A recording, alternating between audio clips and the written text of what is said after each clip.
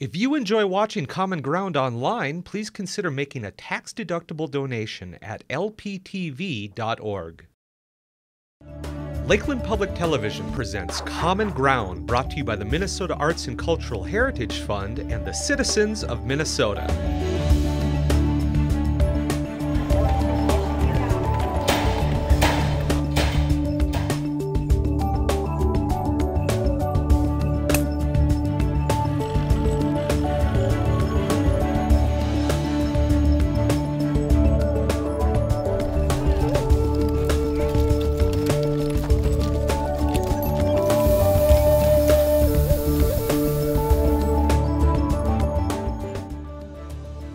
Common Ground. I'm your host, Scott Knudsen.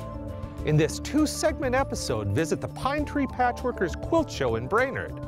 Then come along with Monte Draper as he plants three quarters of a million trees.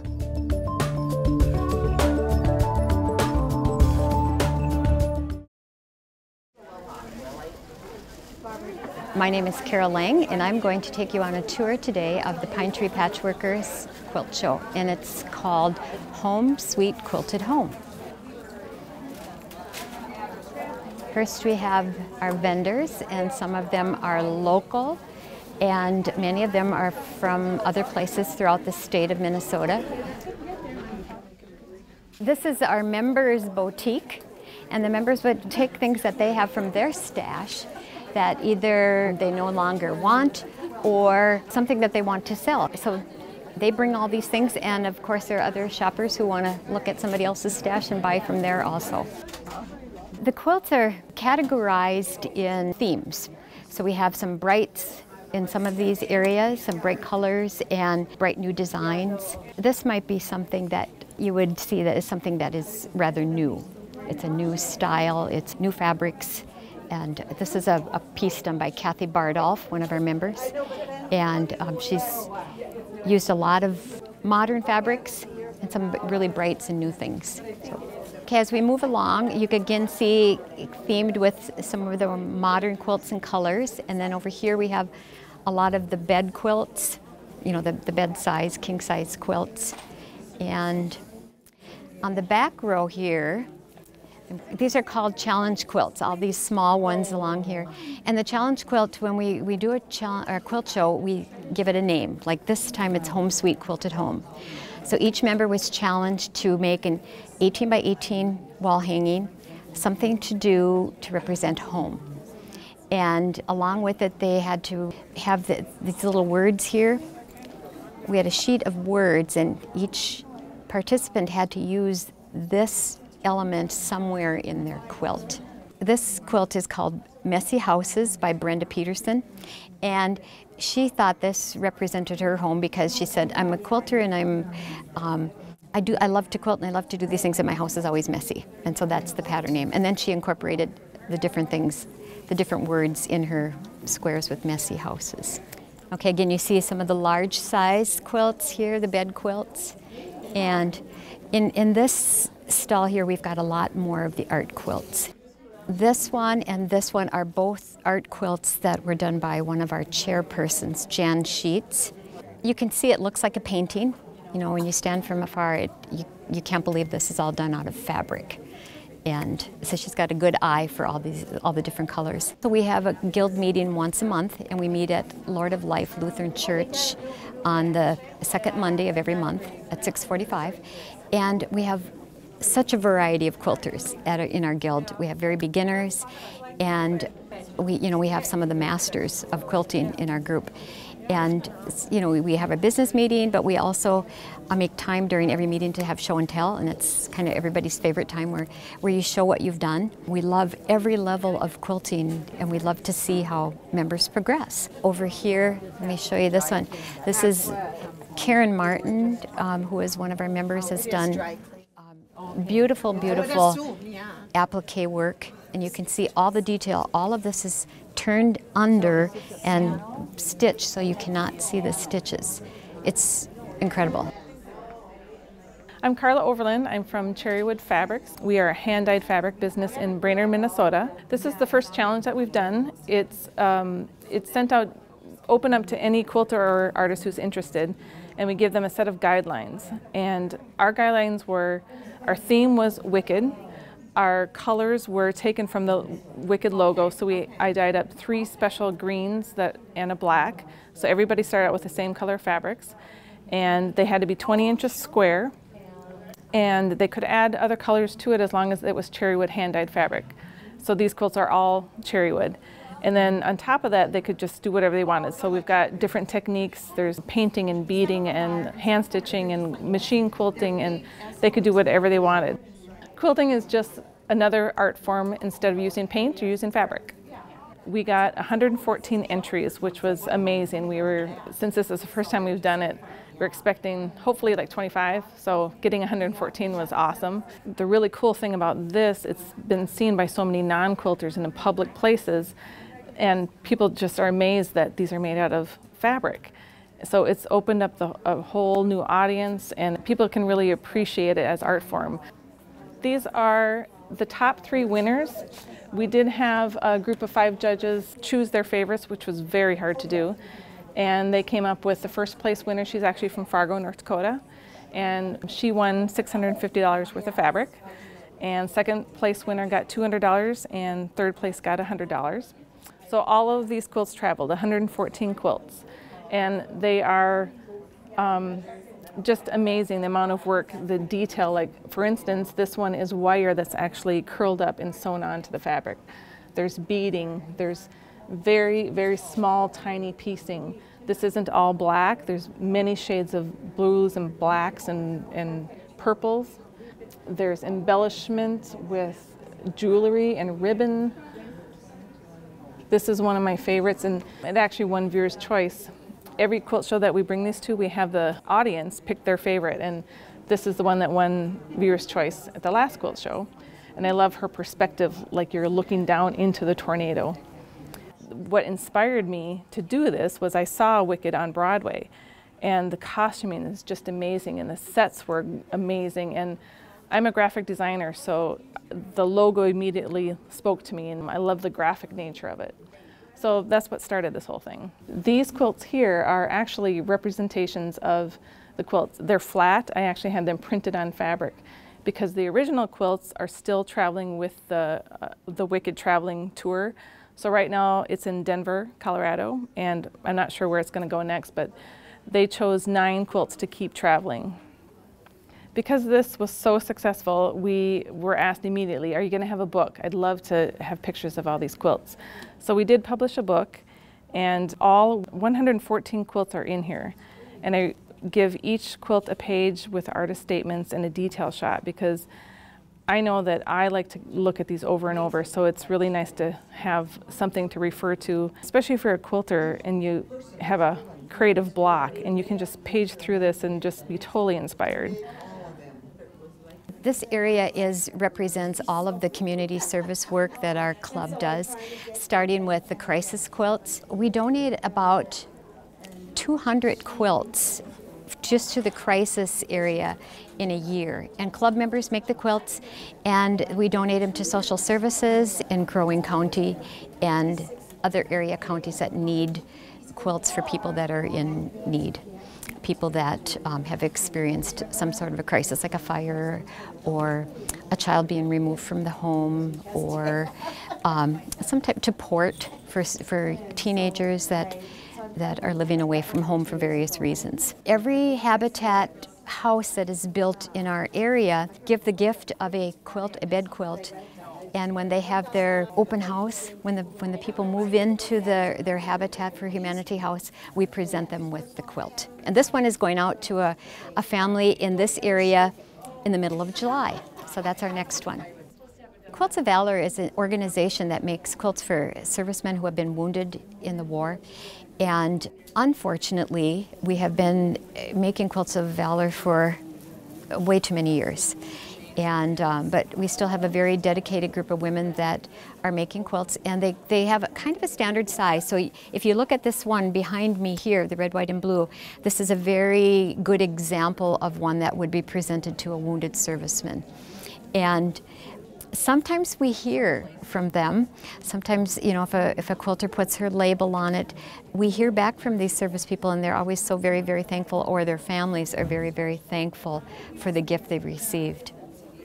Then on the table here we have our placemats, and these are given to our Meals on Wheels recipients, and they they love their their treats that they get at Christmas time. Now, wouldn't you just love to eat your lunch on a placemat that has cupcakes on it, or um, as you're looking out the window eating your lunch and having the placemat with the this cutest bird ever. So those are really fun, and we enjoy giving those away. And usually we give about 90 to 100 placemats each Christmas. And then we also do the Christmas stockings. And the Christmas stockings go to kids who are at port, and it also goes to different organizations that we would maybe send our crisis quilts to, you know, to social services that families in need. And then we try and find little gifts that go inside too. So we collect uh, lotions and um, little games and, and fun things to stuff the stockings with also. These are jail quilts. We have one group of people that sew quilts with the women at the Crow Wing County Jail, and they've been doing that for several years. And it's a great boost for some of the women who maybe feel at their, they're at their bottom of their emotional being, and somebody comes in and takes time to sew with them. And some have maybe never sewed, and now all of a sudden they can they've got this done and this might go home to one of their families, uh, go to one of their children. So it gives them a really boost that they can accomplish something when they're really at their low.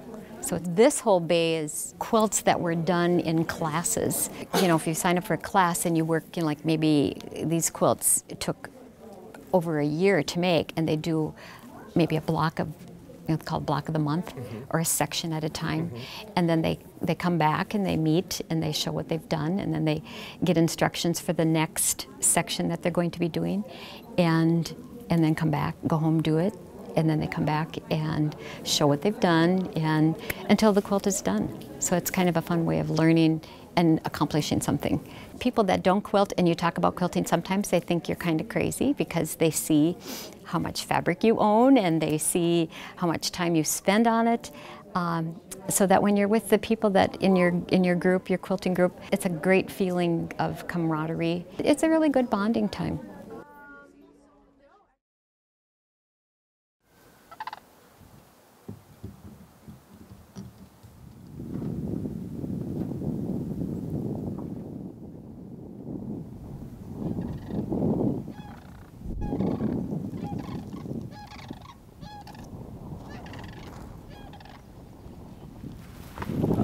This is a private sale and this is considered a wild plant.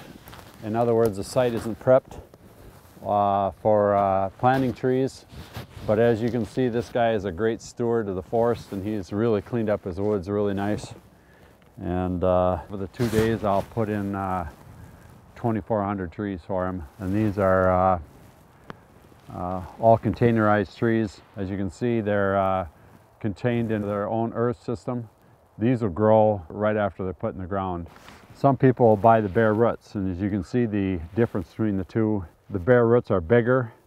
The downside to the, these guys is the root system, you gotta really be careful that they're all in the ground when you plant them.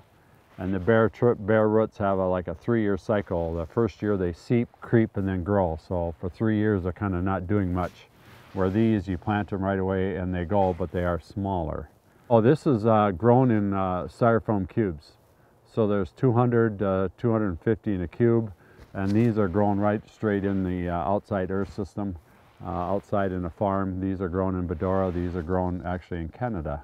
And these are nice to plant. You don't have to worry about the root system at all. And so uh, these are very fast and very easy to plant. I really like these trees versus the bare roots. Better success.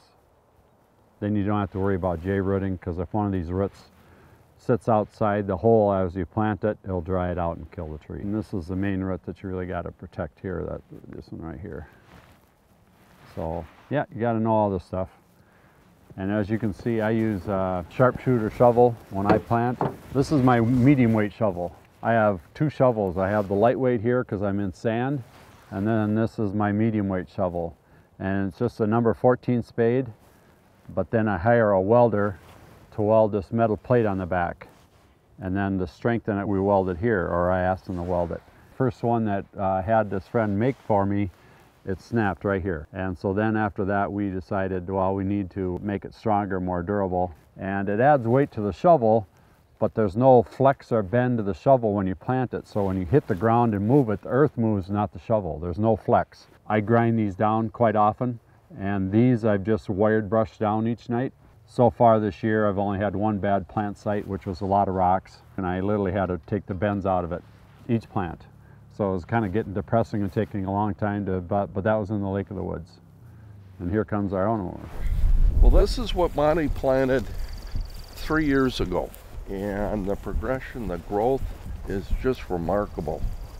When the storm came in here, came in straight micro bursts, so you had these downdrafts that came in, and it would take out an area like this and lay everything down. But look at how this has come in now. These are all seedlings in, Monte planted. The seed that are on the ground that was under that canopy are all laying there dormant. So these seeds are now going to start sprouting. You're going to get natural regeneration occurring along with our plantings. When you do it manually instead of by machine, you can place your trees where you want them and not windrow So when this comes up, it's going to look natural. And as tree plantations, when they put them in machines, it looks so mechanical and there's rows. And we want it to look as natural as possible. So you know, 40 years from now, it's going to look like Mother Nature put in this stand of trees as opposed to just like a cornfield. So the stewardship of putting your trees back is really important. And, and that's a progression that, regardless of a storm, you're still always planting, putting in varieties and replenishing what has been lost just through natural mortality a lot of this would have regenerated itself, but he's really customizing it really nice. He's really got a nice diverse even with the shrubs here at this landing here for the grouse. And uh, when you're out here working, you really get in tune what's around you. You really can hear stuff that you may not normally notice. And out here, as you heard earlier, all the geese coming into the lake.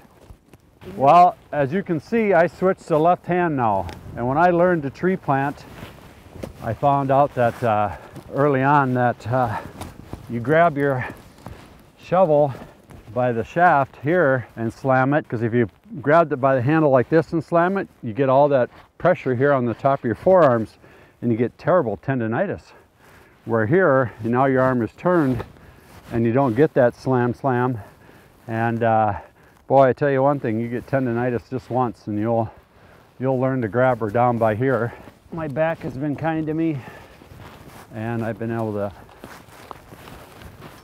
actually last 30 years. And the trick with the trees is to get them at the right depth. And this is where they came out of the soil, so that should be how deep you should go, is right here. So every tree I grab, I grab at the height that I want to hit the ground. Yeah, so this is a, a year that I've really planted a wide variety of species for private people. So far, I've dropped, what, 7,400 I counted this morning. I planted in last week. And I have one more contract, which I'll fill tomorrow and be done. I was looking at my counts and uh, that will be the least amount of trees I've ever planted. Even the very first year I started, and I started, we started as a team. We worked in the forest as a team. And you had your own individual boxes. The first year I learned to plant, I did 8,000. And so this year I'll hit about 78, 77, 7,700. So this will be the least. So my first year eight now, hopefully my last year. There's no, I wasn't gonna plant this year, but there's so many uh, private individuals that bought a lot of trees and contacted me and said, uh, please help us out. And so, yeah, I did that for them, So. Monte, how many trees do you estimate that you've planted in your career? Well, I knew you'd ask me that, and so I looked on my calendar, and so far, not counting this year, I have 740,000 trees. Yeah, 740,000. So that's that's a few trees, and that's uh, private and county. majority of course is county. And I've done more bud capping on trees than I've planted. Because I'll do about 100 acres, so you're talking maybe a 80 to 100,000 trees a, a fall of bud capping where you take a little piece of paper and staple it over the top of the tree. So yeah, I've got my numbers up there. A lot of touching of trees. And, uh, and this technique is called sweeping the heel. So if you got a lot of stuff in your way, if I was just to slam my shovel in there, sticks and uh, um, the soil will get in your eyes. And I tell you, I've, I've had a dry seasons where I've had to wear safety glasses and they steam up. Yeah, you can see how these white pines have just been nailed by the deer. See the bud? There's no bud on it. It's just totally been eaten down. So then we put these nets up and hopefully that will protect it. Yeah, until it gets a certain height. But I'm doing all red pine here today for bud. And then he has me come back in the fall and bud cap to protect them. So, yesterday morning we're we're listening to sandhill cranes, and this morning it's Canadian geese.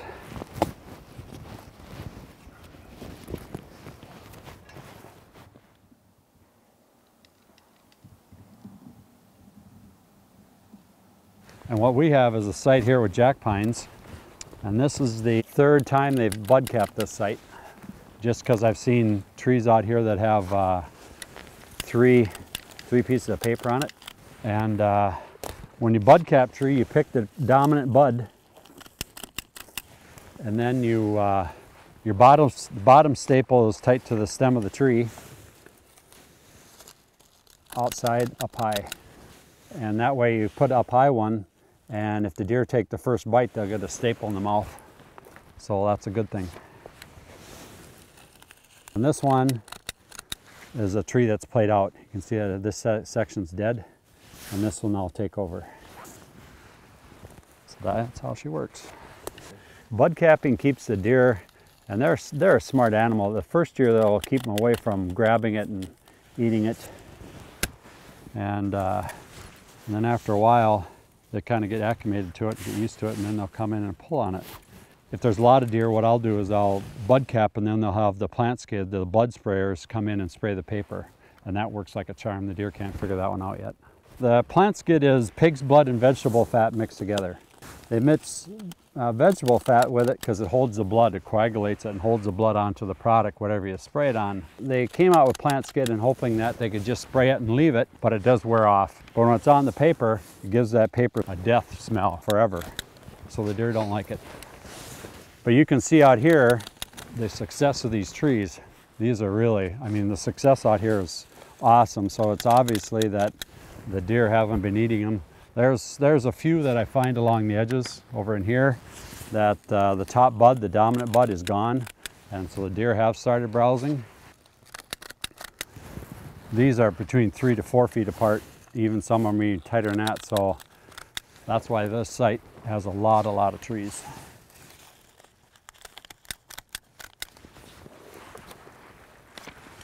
And as you saw my map it's pretty easy to see where I've been. It's like a flag everywhere. And sometimes with jacks, they'll have multiple, multiple tops, so it's hard to determine which one to staple and protect.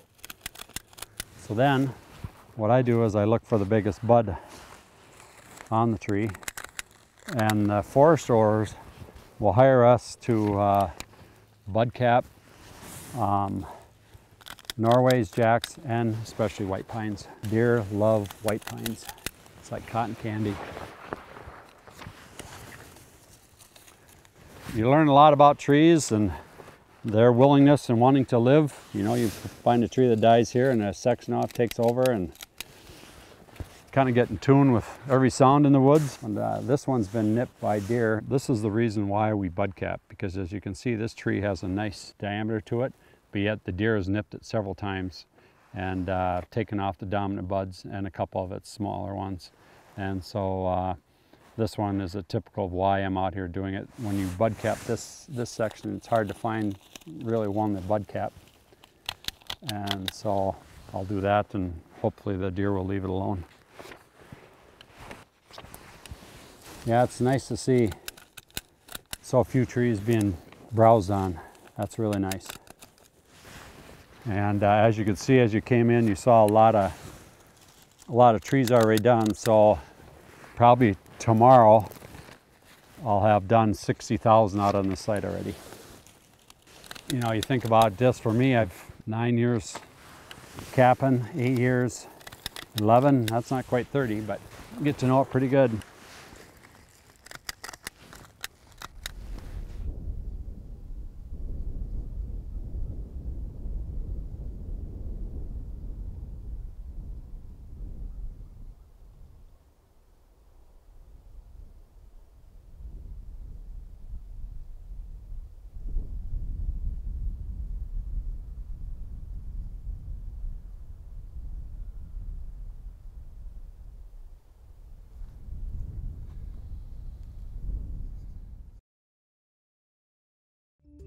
Thanks so much for watching. Join us again next time on Common Ground.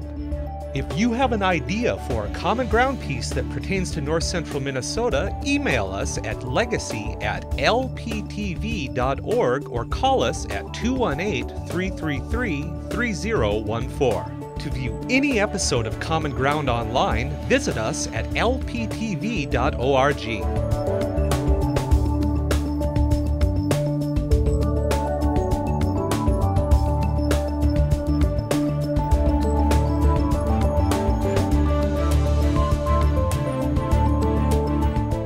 episodes or segments of Common Ground, call 218 333 3020. Common Ground is brought to you by the Minnesota Arts and Cultural Heritage Fund with money from the vote of the people November 4th, 2008. If you enjoyed this episode of Lakeland Public Television's Common Ground, consider making a contribution at lptv.org.